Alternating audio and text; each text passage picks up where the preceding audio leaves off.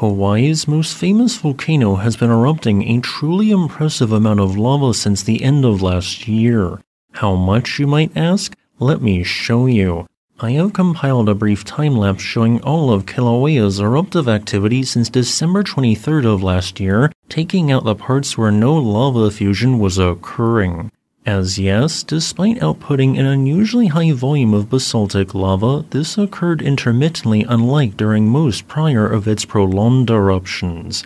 This makes the 167.8 million cubic meters of lava it has erupted its highest yearly total since 2018 all the more impressive considering it was only erupting 11.3% of the time since December 23rd of last year.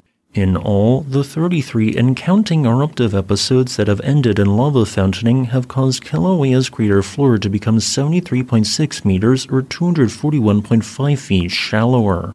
If this fairly predictable cyclical activity were to hypothetically continue indefinitely, then it would take until November 2027 at a minimum before lava reached the same level as before its 2018 caldera collapse. And I want to remind everyone that since the end of Kilauea's eruption in 2018, which caused a caldera collapse, the deepest part of the resulting summit has risen due to years of lava effusion by a whopping 483 meters or 1,585 feet.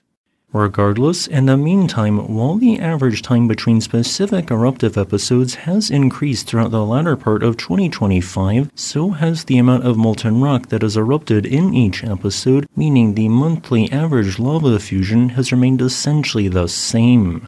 All of this has occurred from three vents on the southwestern edge of Kilauea's summit caldera, while this has created impressive tephra emissions in some spots due to vigorous lava fountaining in some locations piling up to more than 20 meters or 66 feet thick, the thickest such depths occurred in uninhabited spots right next to and to the west of the specified erupting vents.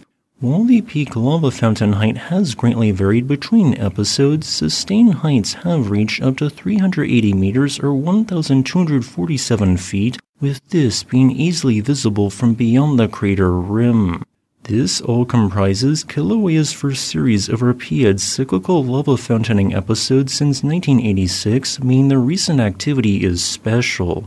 This process of a caldera forming due to a large volume flank eruption and then refilling of said area in the years afterwards has occurred numerous times throughout the long history of the Kilauea Shield volcano, with said caldera collapses most recently occurring in 200 BCE, 1500, and of course 2018.